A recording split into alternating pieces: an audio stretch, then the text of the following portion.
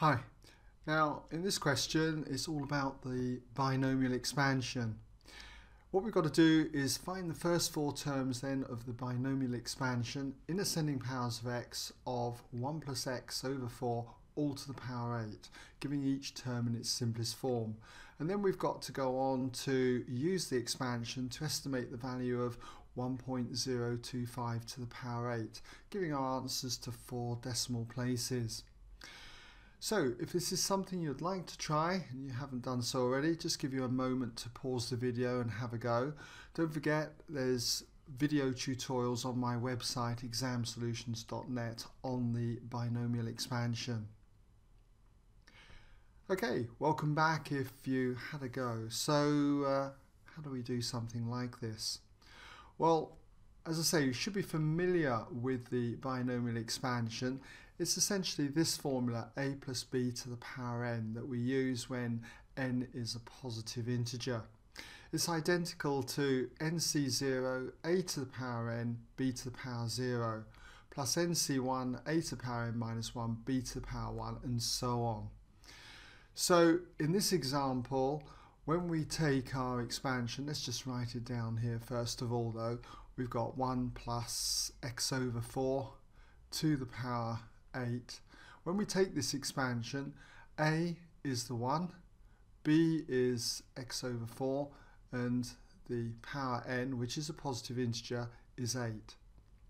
So using this, we're going to have nc0, so it'll be 8c0, and then we've got a to the power n, so that'd be 1 to the power 8. Now I know that's 1, but uh, I just want to put this in just to demonstrate the pattern. And then we've got b to the power 0, that's x over 4 all to the power 0. So that's our first term. Next term is 8c1 and then we drop the power on the 1 by 1 so that's 1 to the power 7 and we increase the power by 1 on the b term so it's x to the power 4 now to the power 1. Notice how these powers always add up to 8, the power here. The next term is 8c2, okay, and then we've got 1 to the power 6, and then x over 4 to the power 2. That's three terms done. Now we come on to the last term, which is going to be 8c3.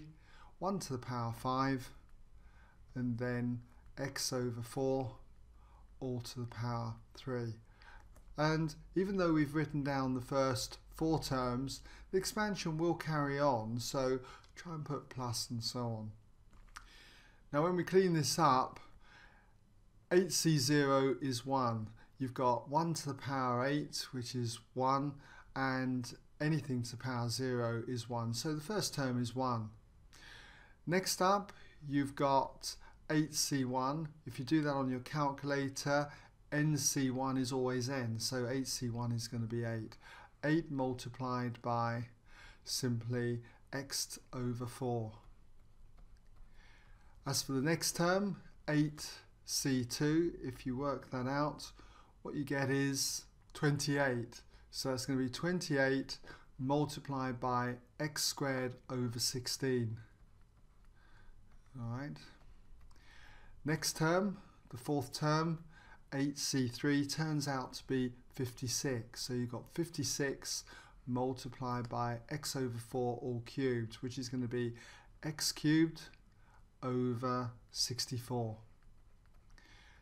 And plus and so on. Cleaning this up, we end up with 1 plus and 4 will go into 8 twice so you've got 2x there.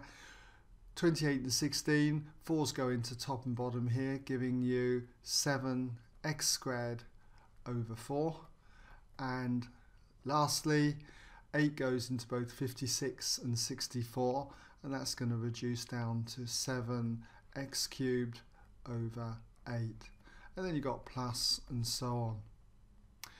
Okay so there's our first four terms then in the binomial expansion. Next, we've got to use our expansion then to estimate the value of 1.025 all to the power 8.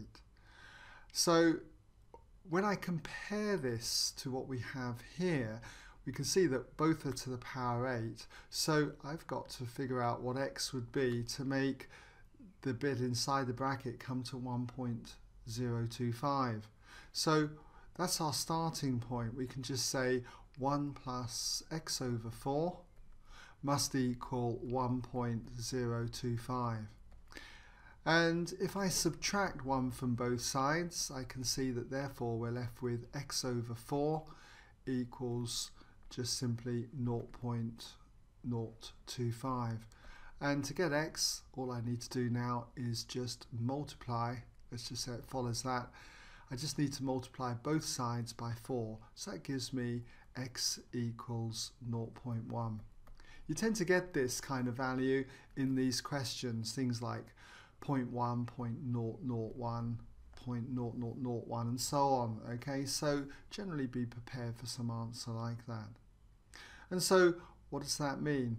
Well, essentially then, all we've got to do is just substitute this value of x into here. So we've got therefore 1.025 to the power 8 is going to be approximately okay equal to well we've got 1 plus and then 2 times 0.1 then we've got plus 7 over 4 multiplied by 0.1 all squared and then plus 7 over 8 multiplied by 0.1 all cubed.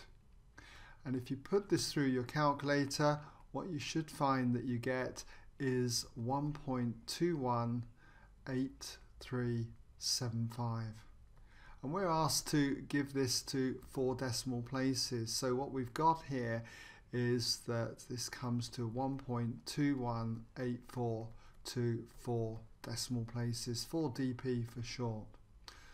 Alright